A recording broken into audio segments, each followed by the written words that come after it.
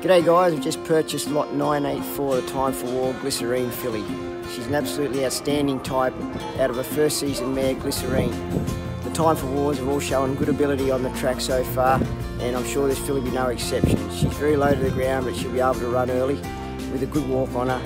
Very relaxed and, and balanced filly when she gets into a stride.